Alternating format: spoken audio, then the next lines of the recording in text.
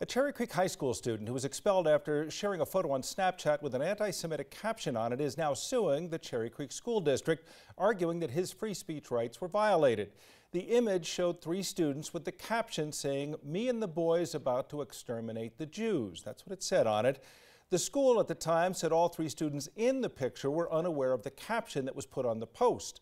The student admitted he made the post and apologized on social media that same night. He was initially suspended after the Snapchat surfaced. He was then expelled for one year on October 21st. According to the lawsuit filed last month, the student says the caption was meant to be humorous and argues that the post was a form of protected free speech. He wants to be immediately reinstated and wants any mention of what happened expunged from his academic record. The school district says it will present a vigorous defense against that lawsuit.